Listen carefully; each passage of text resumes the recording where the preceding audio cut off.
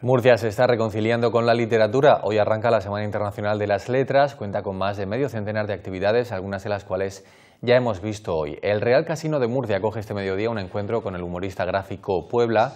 Aquí presenta su libro No todo está reído, acompañado por el escritor Lorenzo Silva.